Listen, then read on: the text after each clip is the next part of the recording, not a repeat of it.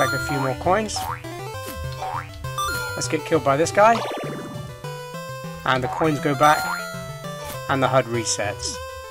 I'm Xanderwood. I make indie games and tutorials on game development. I also play your indie games every week on my channel. Make sure you subscribe and click that bell icon so you never miss a video. So I've got this comment from Secret Aaron that says, Hello, can you explain to me how the coins respawn after being dead? Thanks. This is referring to the platform tutorial series that I made. The way it's programmed at the moment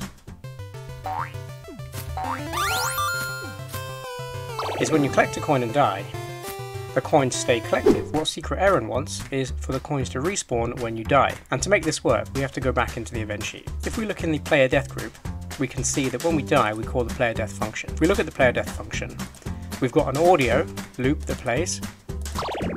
Then we spawn in some particles, we destroy the player, we wait half a second, we fade out, we wait, and then we spawn particles and respawn the player back in at the beginning of the level, reset the timer and fade in. The first two things here after the audio we can keep because we do want to spawn in the particles and we do want to destroy the player.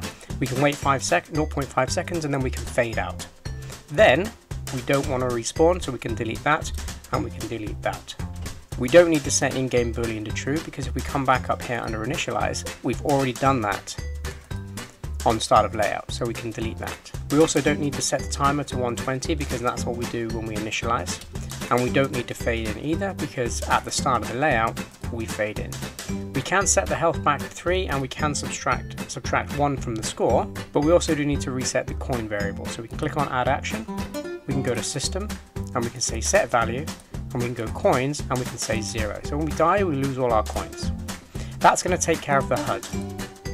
So that's going to change this little number here back to zero. What we need to do now is restart the level. So we go into system, we come down and we say restart layout. We're going to put that in here after the one second, but because the fade out function only takes 0.5 seconds, I'm going to change the one second here to 0.5 seconds. Now if we play it, you can see we go back to zero and the coin restarts.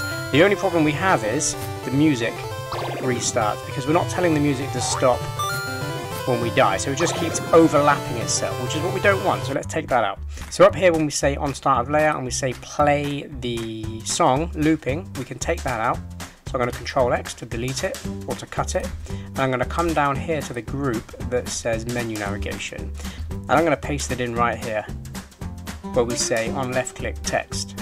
And if I preview the project, when I click start, the music begins. Now when I die and restart the layout, it doesn't restart the music because I'm not clicking on that button. Collect a few more coins.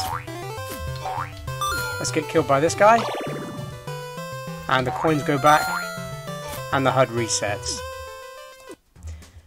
If that was useful, give the video a thumbs up and don't forget to subscribe. If you've got any questions, queries, or you're struggling with anything in Construct 3, then do leave me a comment and if I can solve the issue, then I will solve the issue. Thanks again for watching and I'll see you in the next tutorial.